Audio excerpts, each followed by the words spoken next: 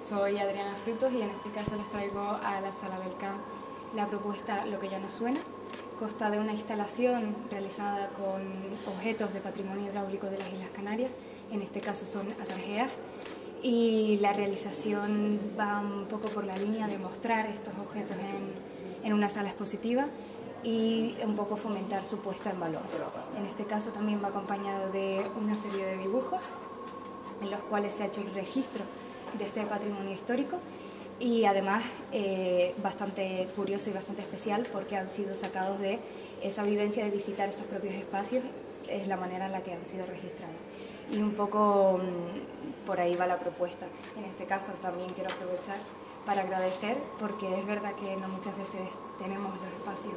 para poder materializar en físico las ideas que tenemos en la cabeza y eso pues es de agradecer cuando en tu tierra y en, tu, en el sitio en el que te desenvuelves pues te abren las puertas y te dan oportunidades.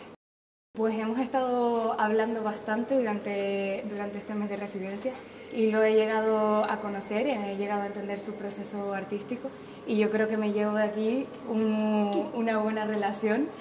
eh, tanto en el ámbito laboral como en el ámbito personal.